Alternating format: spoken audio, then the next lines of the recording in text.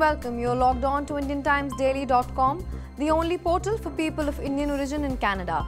We broadcast news from India, Canada, Punjab, and Gujarat in English, Hindi, Punjabi, and Gujarati languages.